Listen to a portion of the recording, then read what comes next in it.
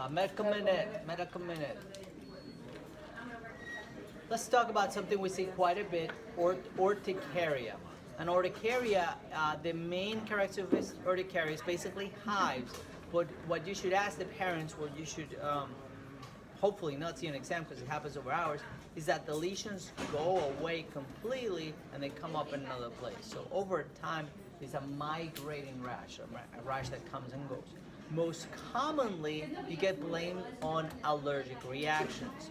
Most of the time, however, it's actually not an allergic reaction. It is an IgE, it's an allergic mediated reaction, but usually to something else. So most of the urticarias we see are actually from they had a cold or virus and they, they show up with the urticaria. Of course, some they had a fever, they had a cold, somebody put them on antibiotics, and all of a sudden it's an allergic reaction to amoxicillin. From, from all the patients that tell you they're allergic to penicillin or amoxicillin or something like that, what percentage do you think are real? 80%, 50%, 20, 10? Uh, you said 10? I would say a lower percentage. 1 to 3%.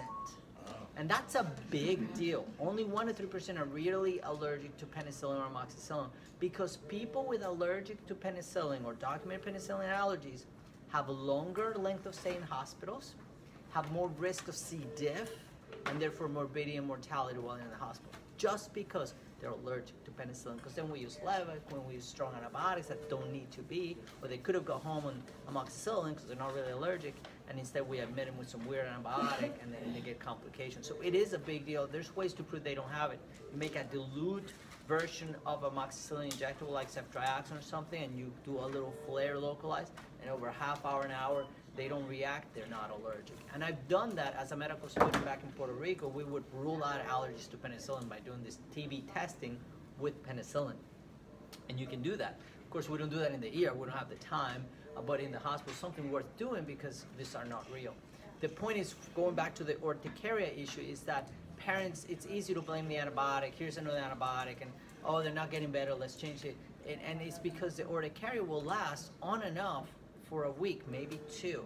And they need to know that so they don't come back to us. And failure to educate them means another visit, another checkup, another antibiotic, unnecessary harm to a patient because they're getting antibiotics they don't need because it was viral to begin with. And the way it works is because the virus it basically induces an immune-related response and they get this urticaria, this hives elevation.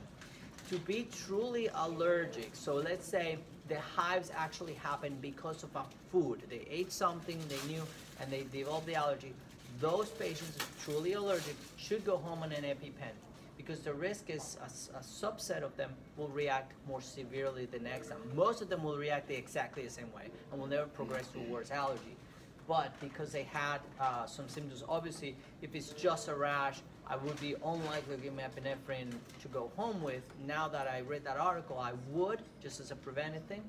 But if they definitely had any kind of wheezing, shortness of breath, lip swelling, anything more than just a superficial rash, absolutely they should live with an epinephrine and an instruction on how to use it. And uh, I think that's it. Thank you. Now you can purchase Rest More.